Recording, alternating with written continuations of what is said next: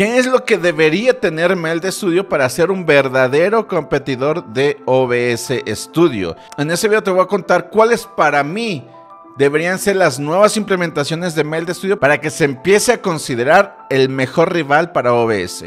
On3D.tv es el único sitio que te puede brindar paneles, banners, transiciones, alertas, fondos, overlays, iconos, emotes para tu stream. Prácticamente aquí puedes armar tu stream desde cero. Todo lo que te haga falta, no dudes en visitar on3d.tv en la cual vas a encontrar una enorme variedad de recursos. Y no te olvides utilizar mi código del 50% de descuento, Ángel Méndez, para que todo te salga a mitad de precio donde puedes adquirir desde un solo elemento hasta paquetes completos de overlays junto con alertas, transiciones, etcétera, para que tus streams dejen de verse tan sencillos y de verdad llames la atención con todos los paquetes de On3D. Bueno amigos, vamos directamente con el tema y aquí voy a abrir mi Melt Studio. Lo que me gusta es de que automáticamente te está pidiendo lo que viene siendo las actualizaciones y otra de las cosas es de que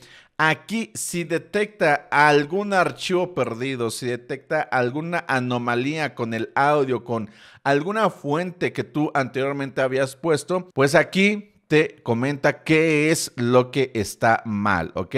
Entonces lo puedes eh, borrar y lo puedes cerrar, ¿ok? Así de sencillo. Una de las cosas que sí o sí debería de tener mal de estudio son Sí, o sea, empiezo fuerte. O sea, los plugins. Los plugins de OS que se pudieran instalar o utilizar en Meld Studio. O que pues los desarrolladores de Meld Studio puedan realizar esos plugins. ¿A qué plugins me refiero? Bueno, el plugin de Mob lo tenemos aquí sin ningún problema. Ya te diste cuenta, este plugin que mueve mi cámara de un lugar a otro se puede tener sin ningún problema. Y esa misma transición la tenemos aquí en Meld Studio, ¿ok? Pero no está bien pulida, por así decirlo. Me refiero a que Mira, si tú te das cuenta, aquí yo tengo mi escritorio, pero si me paso a la otra escena, mira, como que hace un parpadeo, como que desaparece lo que viene siendo pues mi cámara y después vuelve a aparecer, ¿ok? Eso no me agrada tanto. Seguramente es porque esta fuente de captura de cámara, ¿ok? No la tengo en la otra escena, por eso desaparece. Vamos a ponerlo y vamos a ver qué tal reacciona este cambio de escena. Mira, ahí está y Ahí está, ahí está bastante bien. Espero que los de Melt puedan solucionar esto. Pero volviendo a los plugins, la verdad es de que ayuda muchísimo. Por ejemplo, que se pueda instalar algún plugin, y eso me lo pidieron mucho en mis videos, un plugin de transmisión múltiple, ¿ok?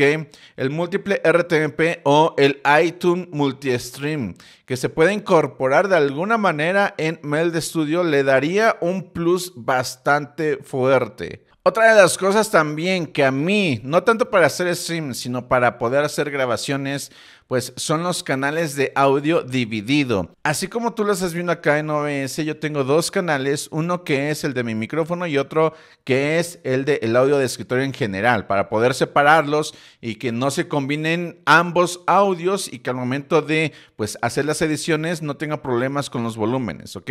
Entonces esto aquí en Meld Studio pues no se ve claramente, no puedo, aquí es algo del recording, pero no puedo controlar, no puedo decirle, pues sabes qué, pues este vendría siendo pues el canal 1, canal 2, pista 1, pista 2, no, solamente, mira, aquí en la parte de audio solamente puedes agregar el default, el audio output, nada más, ¿ok? Pero de ahí en fuera no se puede hacer esa maniobra. Y aprovechando que estamos aquí en ajustes, también otra de las cosas que me gustaría que implementaran es el MP4. Si se puede en MKB y pues, la verdad es muy buena MKB, pero hay que hacer pasos extras para poderlo convertir a MP4 que OBS ya lo tiene, ¿ok?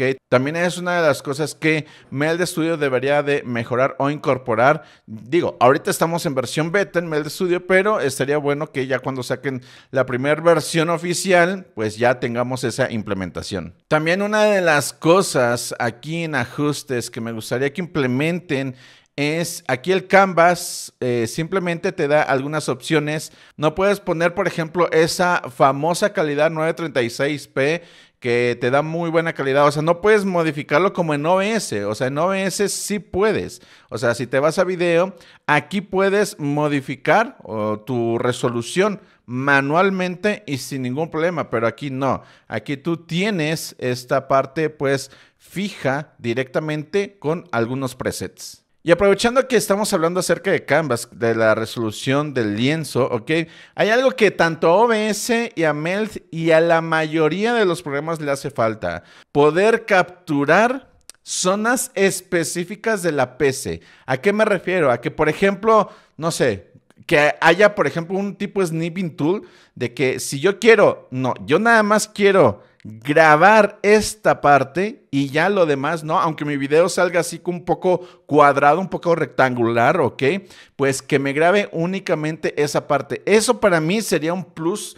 Sí, a ver quién lo hace primero, OBS o Melt Studio, no sé. Entonces, para mí, la verdad sería un plus. Y una de las cosas que se pide mucho en Melt Studio es que exista el control Z, porque no se puede hacer control Z. O sea, si yo, por ejemplo, muevo y le empiezo a modificar y, y empiezo a experimentar de que por aquí, por allá, y de repente ya no me gustó, le doy control Z y, no, no hace nada. No hace nada. Control Z no hace nada, Dios mío. Necesitamos control Z en Meld Studio, por favor. Necesitamos control Z, ¿ok? Y prácticamente es todo esto que yo he notado y realmente Meld Studio va muy bien. Siempre y cuando iría mucho mejor, siempre y cuando empiece a implementar o tener ese tipo de ajustes que vieron en este video y que realmente sirven para los streamers. O sea, detalles de que si le integro un plugin que acepte BST3 o cosas así, la verdad es de que en el resultado final no nos ayuda tan sustancialmente como por ejemplo que exista un plugin de múltiple RTMP. Eso sería mucho mejor, creo yo, ¿ok? Y en lugar de invertir esfuerzos en otras cosas, pues la verdad es de que es mejor que todo se tenga con los plugins que realmente se utilizan, ¿ok? Así que amigos, por mi parte sería todo, cuídense mucho y nos vemos a la próxima. Chao.